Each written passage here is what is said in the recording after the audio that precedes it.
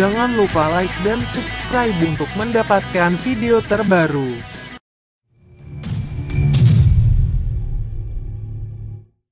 Ya, ditemukannya terasi yang mengandung pewarna tadi tentu saja menjadi alarm kita sebagai konsumen agar lebih waspada sebagai konsumen dalam memilih bahan pangan. Apalagi masalah makanan ini erat kaitannya dengan kesehatan. Nah, bicara dengan kesehatan, informasi yang satu ini tentu tidak menimbulkan bahaya bagi tubuh, justru diklaim bukan hanya sehat, juga bisa berdampak baik bagi lingkungan, yakni diet vegan. Dan untuk mengetahui lebih lanjut tentang diet vegan, langsung saja kita sapa Haria Digdaya langsung dari Palembang, Sumatera Selatan. Haria, bagaimana sih pola uh, makanan diet vegan ini biasanya kalau diet vegan ini uh, identiknya dengan yang tidak ada rasanya atau bagaimana begitu bagaimana supaya diet vegan ini bisa menarik dan bisa kita uh, gunakan untuk meningkatkan kesehatan. Ya, selamat sore Iqbal. Kalau Anda mengatakan diet vegan atau makanan-makanan vegan tidak ada rasanya, ya tidak seperti itu juga. Memang ada rasa, namun tidak mungkin tidak segurih makanan-makanan biasa dan mungkin tidak seperti makanan-makanan biasa. Mengapa? Karena kita tahu bahwa adalah pola makan vegan adalah pola makan tertinggi diet tertinggi di mana pola makan vegan tidak sama sekali menggunakan bahan-bahan makanan dari hewani. Diet vegan adalah makanan yang berasal seluruhnya dari nabati. Nah, sore hari ini seperti yang saya di awal tadi, pemirsa, saya akan mengajak Anda di salah satu tempat festival makanan di Citra Grand City. Bisa sore hari ini di Rumah City sudah ada festival makanan sehat vegetarian di sini. Ada beberapa Kita berbincang.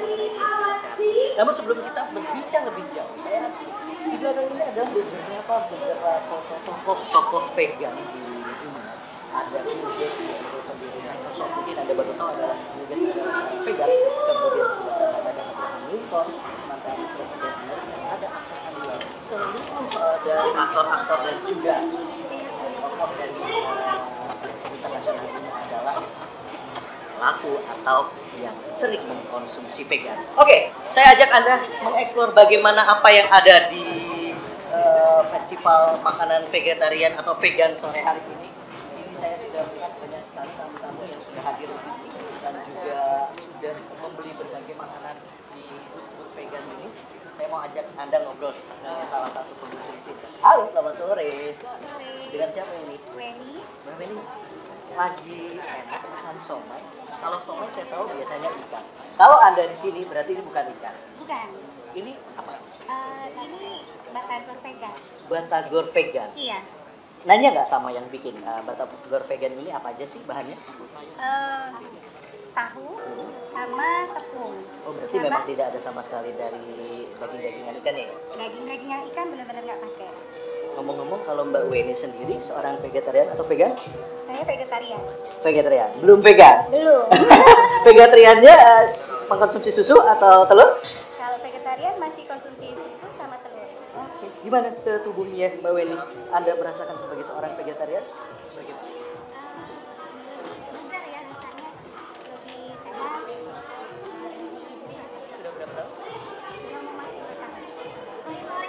Sebentar ya udah ada yang vegan atau vegetarian belum?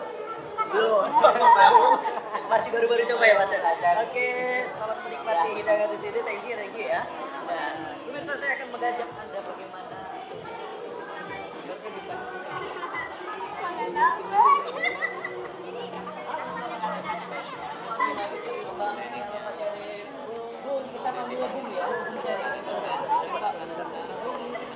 ini adalah dari event ya Indonesia Vegan- Vegetarian Society dan juga jadi ini adalah semua orang vegan vegan atau vegetarian saya lagi vegan saya mau coba dulu kan lihat dulu kan ini ada apa aja sih Oke, masuk, masuk, masuk, masuk. Vegan, ya, Bapak vegan, vegan atau vegetarian? Vegan. Kenapa nih? Bapak kenapa? Hah? Bapak vegan? Enggak ramat dulu, ramat dulu, ramat dulu, ramat dulu. Aku coba ya. Nah, pemirsa ini adalah salah satu ya, ini adalah salah satu uh, burger vegan. Apa namanya? Black burger. Hmm. Ini ada tempe ya? Oke. Pemirsa sebelum Pak Bung Syarif dan juga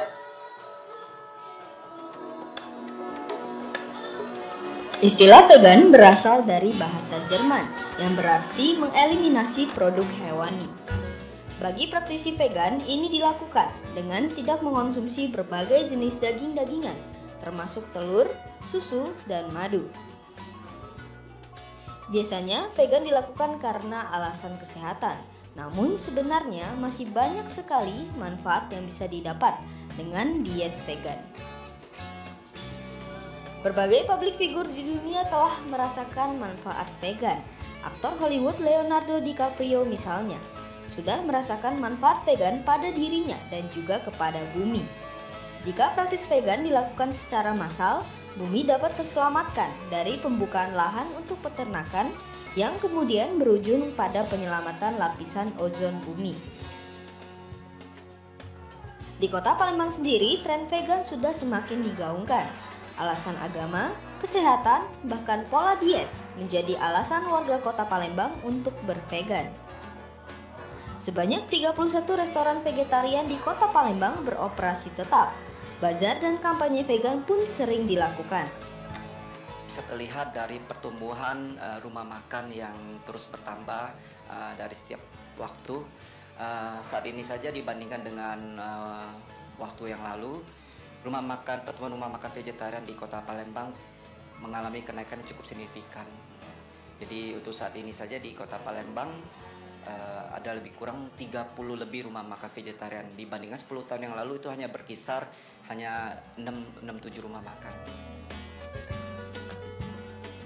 Beragam menu vegetarian juga tidak pernah absen dari event-event food festival di kota Palembang.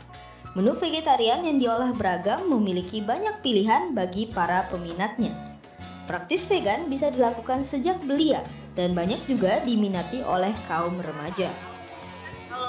Makanan yang paling disukain apa? Coba sebutin lima makanan yang paling disukain. Bayam, kangkung, katu, brokoli, kembang kol. Kalau Jody sendiri suka makan sayur apa enggak? Suka. Sayur apa biasanya? Brokoli. Gaya hidup sehat bisa dimulai dari apa yang Anda makan. Berkonsultasilah kepada ahli gizi jika ingin melakukan pola diet vegan. Dari Palembang, Patricia Rahmat Dito, Metro TV.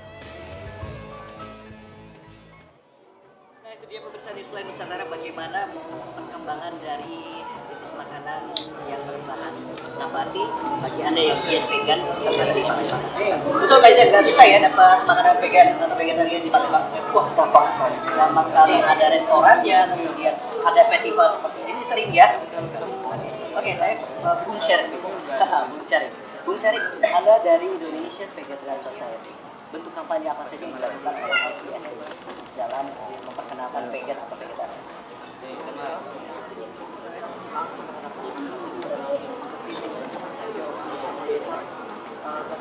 Sendiri Gambar apa teh? sorry karena untuk karena sekarang yang vegetarian itu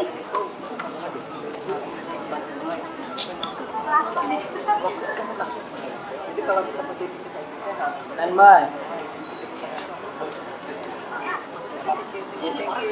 pilih vegetarian yang paling bagus kita kalau kita sudah berpikir sudah Awal, awal. kalau kita berpikir Mana Dong, tapi kalau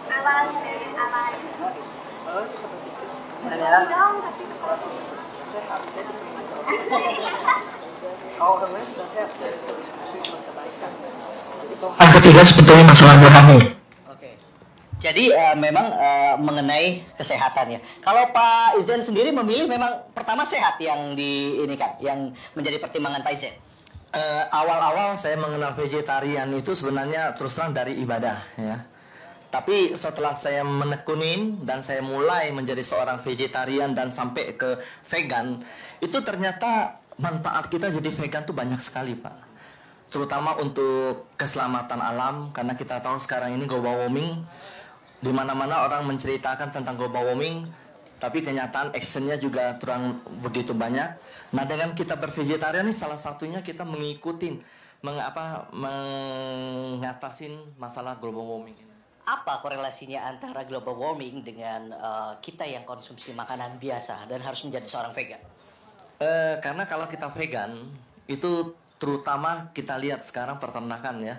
Peternakan itu kan untuk menghasilkan satu potong daging seperti kita contohkan daging sapi, itu kan sapinya kan diberi makan seperti kita lihat di Amazon itu mereka memberi makanan itu melalui kacang kedelai segala macam. Itu coba kalau di dikasih ke orang untuk makan itu perbandingan satu potong daging itu bisa menghidupkan 5 sampai 10 orang gitu.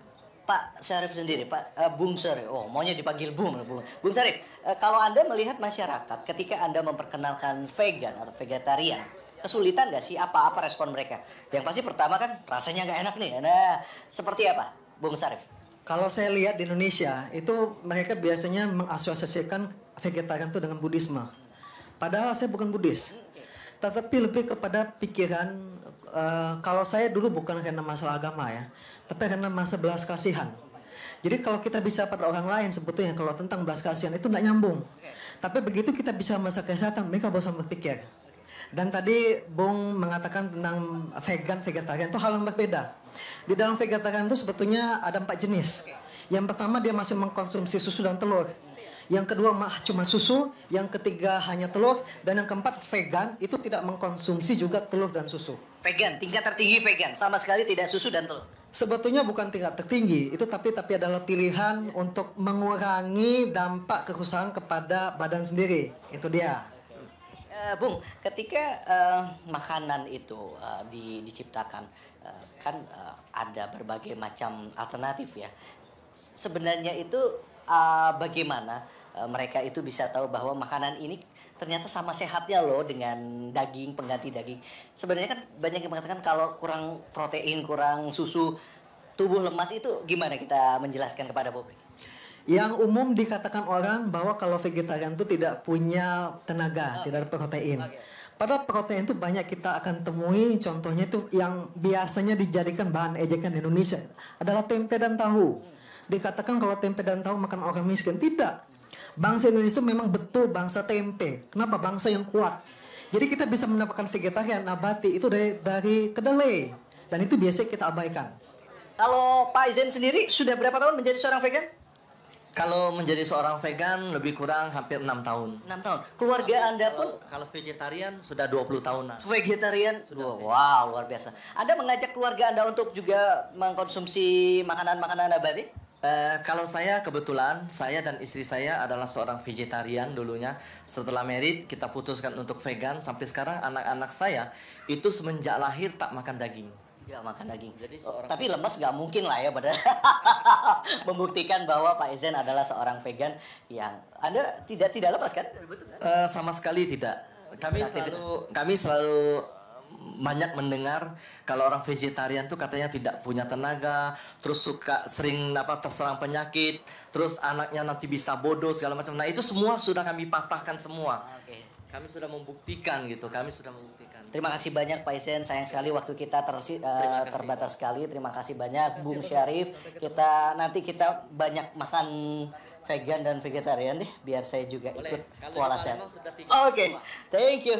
Nah, pemirsa demikian perbincangan kami sore hari ini di Festival Makanan Sehat Vegetarian di Kota Palembang dan memang Anda tahu pemirsa bahwa tahun 2016 ada sekitar 20% kematian yang diakibatkan oleh penyakit kolesterol. Nah, tergantung pilihan Anda, Anda ingin makan uh, hidup sehat dengan mengkonsumsi seperti seorang vegan atau ya terserah Anda. Dan sampai sini dulu uh, informasi yang kami dapat berikan dari Palembang. Kembali ke Iqbal, semoga bermanfaat. Arya tadi sih sepertinya enak ya makan burger dari tempe tapi rasanya biasanya menyerupai daging begitu ya. Coba saya tantang nih kalau gitu seminggu bisa nggak menjadi vegan. Terima kasih Hari Hari Daki melamarkan langsung dari Palembang, Sumatera Selatan.